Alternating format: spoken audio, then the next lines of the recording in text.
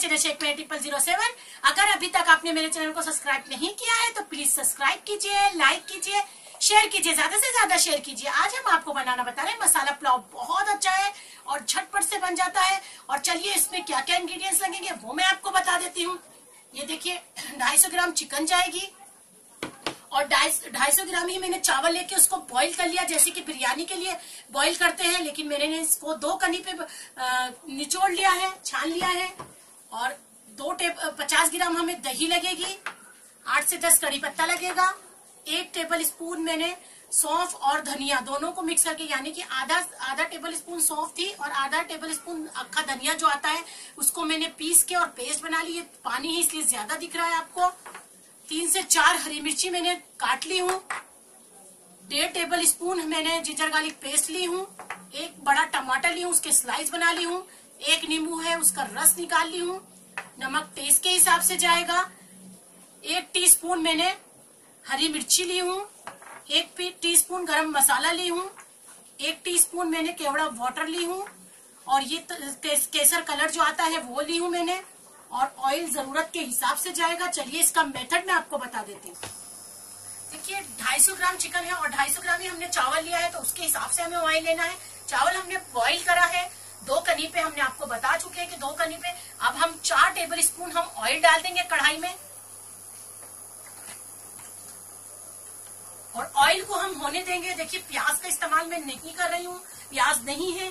Direct हमको ginger garlic paste डालना है, कड़ी पत्ता डालना है, हरी मिर्ची डालनी है। तेल गरम हो जाएगा तो मैं डाल, बताती हूँ।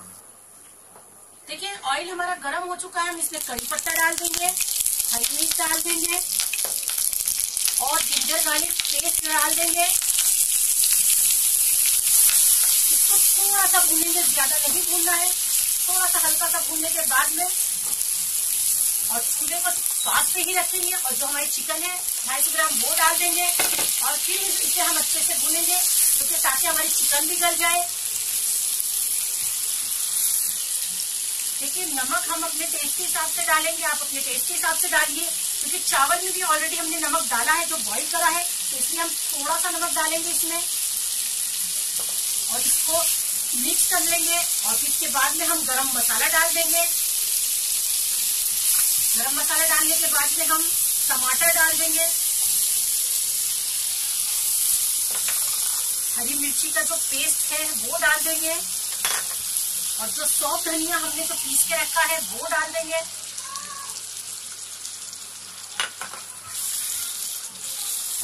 मिक्स कर, कर देंगे और इसे चिकन गलने तक हम इसको पकने देंगे।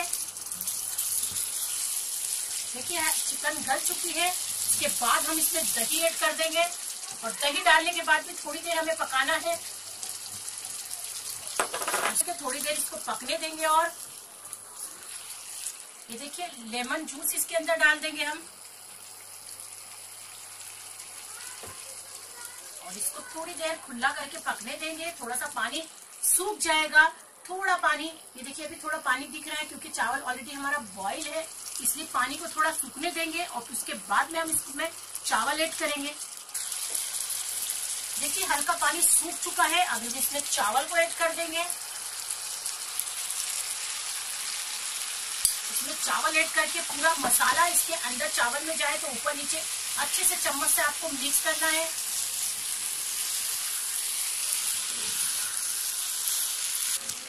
देखिए, अच्छे से मिक्स कर दिया और इसे चावल को बराबर करके और इसको हम केवड़ा वाटर डाल देंगे। केवड़ा वाटर डालने के बाद में कलर डाल देंगे। चॉइस आपकी है, आप कलर चाहो तो डालो, ना तो ना डालो और इसे दम पे रख देंगे। दम पे हमें ज़्यादा देर नहीं रखना क्योंकि हमारा चावल ऑलरेडी पका हुआ है और थोड़ा सा इसमें भी पक चुका है। सिर्फ़ हम एक मिनट के लिए इसे दम पे रखेंगे स्लो पे और एक मिनट के बाद में हम आपको सर्व करके बताते हैं। देखिए, मसाला पुलाव हमारा रेडी है। बहुत अच्छी खुशबू आ रही है। ज़रूर ट्राई कीजिए। मुझे उम्मीद है आपको ज़रूर पसंद आएगा। एक बार ट्राई करेंगे तो आप बार बार बनाएँगे। अगर मेरी रेसिपी और मेरे आइडिया आपको पसंद आ रहे हैं तो मेरे चैनल को सब्सक्राइब कीजिए लाइक कीजिए शेयर कीजिए, ज़्यादा से ज़्यादा शेयर कीजिए। Bye friends